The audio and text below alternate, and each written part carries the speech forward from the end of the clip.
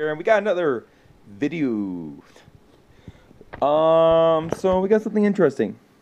From my personal perspective, of course, not protein review, but this is more video game review. Something that I'm actually really happy about, mostly because I love to play video games in my off time, when I'm at the gym, or when I'm not working, or when I'm doing a job search.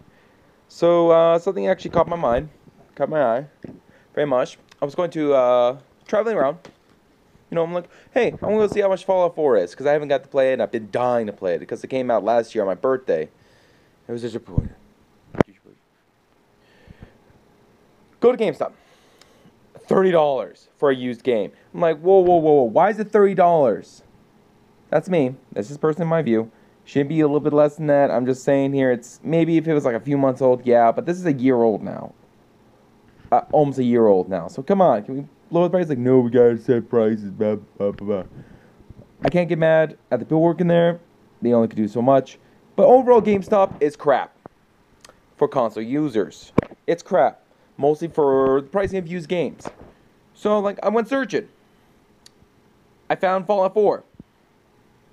Do you want to know how much? $20. And then they gave me a $3 discount at a pawn shop. A goddamn pawn shop. We're not talking about like a sneezy, dirty pawn. No, we're actually talking about a nice, clean, respectable pawn shop that I've went to multiple times for many different things. Go in there, ask for the game, give me, it's like, hey, we'll give you three bucks off. I'm like, hell yeah, that's what I'm talking about. You know what else I got? Shadows of Mordor for $9, and they still gave me a $2 discount. I got two games for the price of one compared to if I only wanted to get Fallout 4.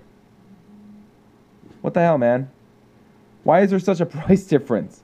And here's the thing there's like a 48 hour leeway so you can return it if it doesn't work good. Let me tell you, my pawn shop, the pawn I go to, no problems. I've had no problems with them.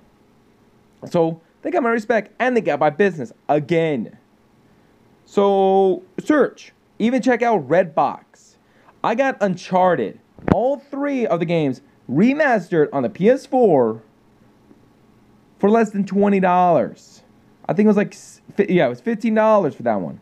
Yeah, it's a Redbox rental, and you know you're kind of risking, but of course, it works just fine.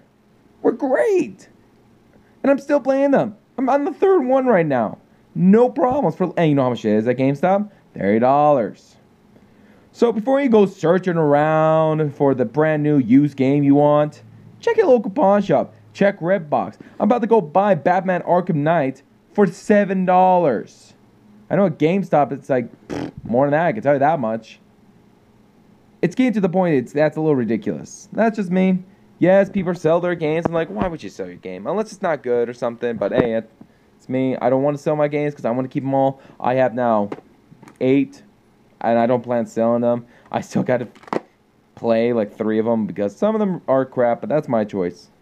So before you go to GameStop for used games, shop around. Check GameStop prices. Who knows? Maybe you can price match. I don't know. But hey, if you could go to your local pawn shop that's nice, clean, and respectable, give them a shout.